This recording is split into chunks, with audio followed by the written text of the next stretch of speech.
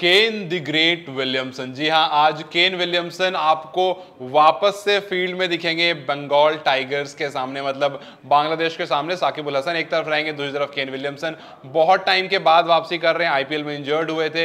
एक टाइम पर ऐसा लग रहा था कि वर्ल्ड कप में भी नहीं आएँगे, लेकिन आज आशाएँ ऐसी हैं कि टॉस के बाद अनाउंस हो जाएगा कि केन विलियमसन इनफैक्ट आशाएँ ये है कि केन विलियमसन खुद आएँगे टॉस करने। तो देखते हैं कैसा रहने वाला है। मैं हूँ फारूक, मेरे साथ हैं असद। क्या लगता है असद, आज केन आएँगे? बिल्कुल आएँगे। केन ये कल ही कंफर्म हो गया था। कई सारे रिपोर्ट्स में ये आया था कि केन विलियमसन, और मैंने पिछले मैच में ही बोल दिया था कि केन विलियमसन अगला मैच खेलने वाले हैं, क्योंकि वार्म अप के दोनों मैचेस खेले थे, और जो रिदम चाहिए, वो यहाँ से मिलेगा बांग्लादेश के अगेंस्ट दूसरी तरफ़ बांग्लादेश को देखेंगे तो फारूक, पहला मैच जीते, दूसरा मैच हारे इंग्लैंड से। जी। तो कहीं ना कहीं एक लेकिन उसमें भी एक फाइट दिखाई अच्छी।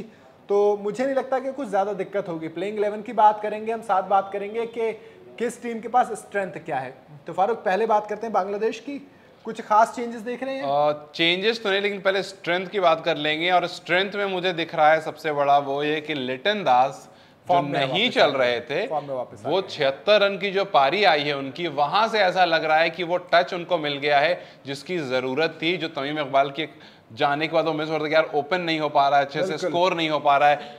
लेकिन लिटन दास जो फॉर्म में आए मुझे लगता है कि यहाँ से बांग्लादेश थोड़ा रिलैक्स ज़रूर होगी। दूसरी स्ट्रेंथ की बात करूँ तो वो है उसका स्पिन डिपार्टमेंट चेन्नई का मैदान है स्पिन कितनी कारगर होती है वहाँ पर हमने अश्विन को देखा हमने कुलदीप को देखा हमने जडेजा को देखा। तो यहाँ पर भी हम देखेंगे हम शाकिब को देखेंगे मेहंदी हसन मिराज को देखेंगे हम अहमदुल्ला को देखेंगे मेहंदी हसन को देखेंगे जी हाँ। तो इस तरह से एक स्ट्रॉन्ग स्पिन डिपार्टमेंट है जो जिसे लीड खुद शाकिब करते हैं। तो चेन्नई के मैदान में अगर दूसरी तरफ़ की बात करें तो उधर भी हैं स्पिनर्स बिल्कुल उधर भी स्पिनर्स हैं। उधर आपको रचिन रविंद्रा है इश सोदी हैं और आपको हो सकता है मिचेल सैंटनर आपको मिचेल सैंटनर है। फिलिप्स आपको तो ग्लेन फिलिप्स को कैसे भूल सकते हैं? वो अभी उन्होंने मतलब वो आपके लिए पता कैसे हैं जैसे शरदुल ठाकुर हमारे लिए काम करते हैं कि कभी भी हाँ। आकर गोल्डन आर्म वाला जो काम करते हैं इंग्लैंड के पास लिविंगस्टन है जी हाँ इंग्लैंड के पास लिविंगस्टन है यहाँ पर फ्लिप्स हैं तो ये कुछ गेंदबाज ऐसे हैं जो आपको मतलब मिडिल ओवर्स में आप उनसे बॉल कराओ और अपन विकेट निकाल करके दे देते हैं कितनी भी बड़ी पार्टनरशिप क्यों ना हमने देखा है कि ऐसे ओवर्स में मिडिल ओवर्स में आकर के यहाँ पर कारगर साबित होते हैं। दूसरे न्यूजीलैंड की ताकत है उसके ओपनर्स उसका टॉप ऑर्डर क्या टॉप ऑर्डर रहा है? मुझे तो प्लेइंग इलेवन में बड़ी दिक्कत फंसने वाली है। किन विलियमसन की एंट्री के साथ रचिन रविंदर को आप शिफ्ट करेंगे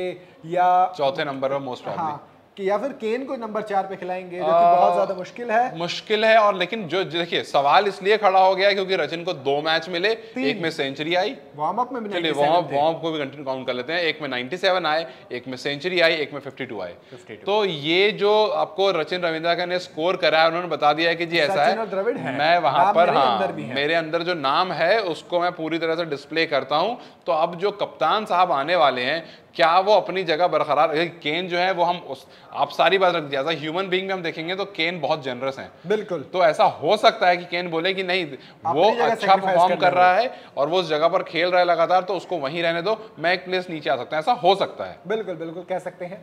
तो ये तो रही ताकत। वीकनेस न्यूजीलैंड की बात करूँ तो कुछ खास नज़र आई नहीं आ, नहीं इंग्लैंड के खिलाफ आपने खेला। थोड़ी सी आप कह सकते हैं दिक्कत है हाँ, क्योंकि वो शुरू के ओवरों में जी हाँ वो ट्रेंड बोल्ट को नहीं मिल रहे बट बांग्लादेश के खिलाफ वो रिदम भी शायद पाने की कोशिश करेंगे पूरी बिल्कुल कोशिश करेंगे क्योंकि देखिए दो मैच हुए हैं दोनों मैच में मैच बहुत अच्छा हुआ है पूरी टीम ने बहुत अच्छा खेला है लेकिन ट्रेंड बॉल कहीं ना कहीं अपनी परफॉर्मेंस से थोड़ा निराश ज़रूर होंगे क्योंकि शुरू के ओवरों में जो उन्हें बॉलिंग हालाँकि चेन्नई में है तो चांसेस फिर कम है कि बॉलर को बहुत पेसर को बहुत ज़्यादा हेल्प मिलने वाली है लेकिन ट्रेंड बॉल चाहेंगे कि बांग्लादेश के ओपनर्स को शुरू में एटलीस्ट वो थोड़ा परेशान करके एक आध विकेट निकाले ताकि अपनी रिदम वापस पा सकें। बिल्कुल ये तो थी न्यूजीलैंड की दिक्कत। वहीं अगर बात करें बांग्लादेश की तो यही दिक्कत उसके साथ है टॉप ऑर्डर है उसमें इतनी बड़ी पारी नहीं इतनी बड़ी पारी नहीं आ पा रही है। तंजिद हसन ने पहले मैच में खेली तो लिंटन दास ने दूसरे मैच में खेली।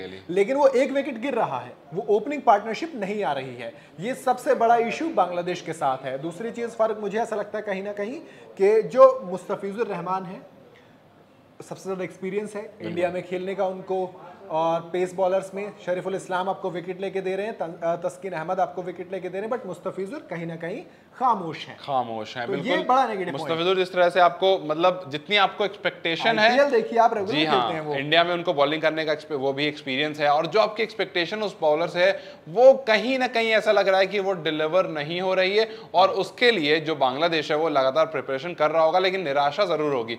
अपने मिडिल ऑर्डर से बांग्लादेश खुश है क्योंकि वो परफॉर्म करके उनको दे रहा है। साकिब हालाँकि पिछले में नहीं चल पाए थे लेकिन उनको भरोसा है कि साकिब जो है वो आपको मुश्किल सिचुएशन में भी अगर आप हो और साकिब वहाँ पर है तो आपका ट्रस्ट उन पर बना हुआ है। लेकिन जैसा असद बता रहे थे कि टॉप ऑर्डर एक इशू है और एक पेसर वाला इशू कहीं ना कहीं अभी भी बांग्लादेश के साथ बिल्कुल आप खुद सोचिए ना आपके पास मुस्तफिजुर सबसे एक्सपीरियंस है लेकिन आप जो टॉप बॉलर है आपका शरीफुल इस्लाम है। पिछले सात मैचों में चौदह विकेट उनके नाम है।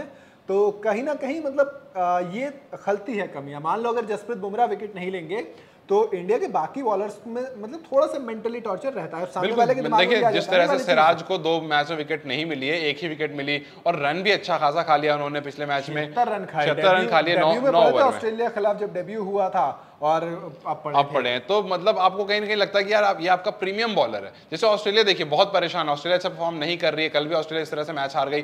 तो कहीं ना कहीं उनके लिए परेशानी है।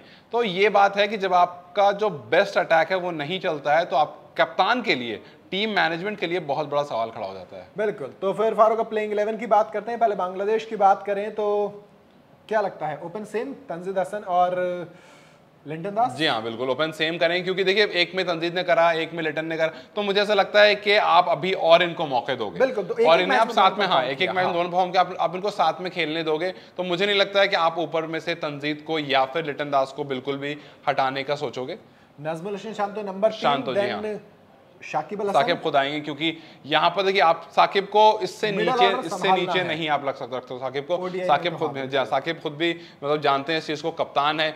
ये एक बार को हो सकता है कि साकिब ऊपर आ जाए लेकिन इससे नीचे साकिब आपको आते हुए नहीं दिखेंगे। अब मुझे कहीं ना कहीं ऐसा लग रहा है शाकिब नीचे आएँगे और फिर मेहंदी हसन मिराज ऊपर जाएँगे नंबर देखिए नजमुल ये बड़ी देखिए साकिब जो है वो कप्तान है। साकिब का जो कैरेक्टर हमें पता है मुझे नहीं लगता है कि वो ऊपर करके आप, आपको मैं इस आपको century मान रहा हूँ कि ऊपर आकर के उन्होंने रन भी करे हैं तो ये हो सकता है कि लेकिन फिर आप नजमुल जाएँगे हाँ। और मेहंदी हसन मिराज ऊपर आ जाएँगे, साकिब वहीं पर। चार पर जी हाँ। फिर पाँच पर नजमुल हसन शांतो ठीक है ये हो सकता है फिर मुशफिकुर रहीम। शुक्र रहीम आएँगे फिर उसके बाद तौहीद हरिदौय फिर मेहदी हसन आएँगे। और फिर उसके बाद बॉलिंग यूनिट आ जाती है। अहमद शरीफुल इस्लाम तो रहेंगे मुस्तफिजुर उनके मुस्तफिजुर, साथ में हाँ, रहेंगे। हरिद्वाय और ये मेहंदी हसन मिराज शाकिब भी आपको स्पिन ये आपको संभाल के देंगे। में बड़ा रोल अदा करने वाले हैं ये। और मुझे ऐसा लग रहा है कि ये कहीं ना कहीं न्यूजीलैंड को परेशान करेंगे। अब तक जो न्यूजीलैंड इजी आई है मुझे लगता है कि आज के मैच में न्यूजीलैंड थोड़ा फंसने वाली है। ओके न्यूजीलैंड की बात करें तो बिल्कुल सॉर्टेड इलेवन इनके पास है एक्सेप्ट विलियमसन की एंट्री के अलावा। जी हाँ। ओपन में कोई इशू नहीं है? कोई शून्य कॉन्वे यंग बिल्कुल एज इट इज़ रहेंगे। एज इट इज़ तीसरे नंबर पर विलियमसन रहेंगे। ना अगर विलियमसन आते मुझे लग रहा है कि तीसरे नंबर पर हाँ मुझे लगता है कि तीसरे पर विलियमसन रहेंगे और रविंद्रा जो है वो चार पर आएँगे क्योंकि उनके पास एक ये भी होगा कि अभी नया नया उन्होंने स्टार्ट करा इंटरनेशनल करियर तो तीन पर आपने खेल लिया अब आप थोड़ा चार पर भी खेल के खेल सकते हैं आप। हाँ ठीक है फिर डैरल फिर उसको डैरल में चलाएँगे उसके बाद लेकिन हाँ टॉम लैथम टॉम लैथम के बाद चैंपियन जो थे गए। वो गए हाँ। चैंपियन आ रहे मुझे नहीं लग रहा है आज के मैच में खेलेंगे मुझे लगता है केन आपको चैंपियन से ही रिप्लेस करने वाला बिल्कुल और ग्लेन फिलिप्स रहेंगे रहेंगे। ग्लेन फिलिप्स रहेंगे, ठीक है। Premium fielder and in form batsman तो उनको नहीं आप ड्रॉप करेंगे। फिर उसके बाद आपके पास सैंटनर मिचेल में आ गए ऑलराउंडर फिर हेनरी आ गए अच्छी बॉलिंग कर रहे हैं लगातार। बिल्कुल, लगातार आपको अच्छी बॉलिंग कर रहे हैं विकेट लेकर के दे रहे हैं। तो हेनरी आ गए फिर आपको अब यहाँ पर यही है कि क्या आप लोकी फर्गुसन के को खिलाएँगे कि नहीं? ट्रेंट बोल तो आपके साथ जाएँगे। तो आप तीन पेसर के साथ जाएँगे यानी अगर मुझे ऐसा लगता है कि आज आप दो जी हाँ दो दो पेसर और इश सोदी उसकी जगह उनकी जगह पर आएँगे। ठीक है तो फारूक कैप्टन किसे बनाएँगे आप अपनी फैंटेसी 11 का? 11 आपके पास आ गई दोनों टीम की तो सीधे सीधे अगर आप एक 11 बनाएँगे तो कैप्टन किसे बनाएँगे? कैप्टन मैं बनाऊँगा कैप्टन को मतलब केन विलियमसन को। यार मैं अ, मैं पता नहीं क्यों मुझे ऐसा लग रहा है कि कहानी फंसेगी मुझे लगता है बांग्लादेश के खिलाफ मैच है स्पिन अच्छा खेल लेते हैं पेस तो खैर खेलते ही हैं और प्रॉपरली फिट होकर के आ रहे हैं तो मुझे लगता है आते ही आगाज़ करेंगे और यार दस मैच में सेंचुरी आप देखो कितनी आई है? आठ। आठ नहीं और ज़्यादा सेंचुरी है। ज़्यादा सेंचुरी हाँ, हाँ। दो तीन अरे यार तीन तो अब तीन तो- साउथ जी हाँ, अफ्रीका तीन वही आ गई है। फिर कल मारी साउथ अफ्रीका ने एक सेंचुरी रोहित शर्मा की सेंचुरी आई रोहित है। शर्मा की आ गई है। फिर आपको रचिन रविंद्र डेवन कॉनवे। बारह ऑलमोस्ट सेंचुरी आ चुकी है।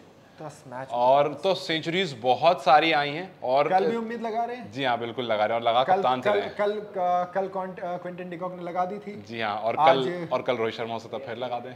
या हो सकता है आपको विराट कोहली लगा दें। यार कोहली की सेंचुरी जी हाँ तो खैर वो कल की बात कल करेंगे आज की बात आज कर लेते हैं तो ऐसा है कि हाँ। केन विलियमसन मुझे लग रहा है अच्छा आगाज़ करने वाले हैं। मुझे ऐसा लगता है डैरल मिचल। मुझे पता नहीं लग रहा है डैरल मिचेल की आज सेंचुरी आ रही है। और वाइस कैप्टन के तौर पर किसे देख रहे हैं फारूक? वाइस कैप्टन के तौर पर मैं देखूँगा साकिबुल हसन को।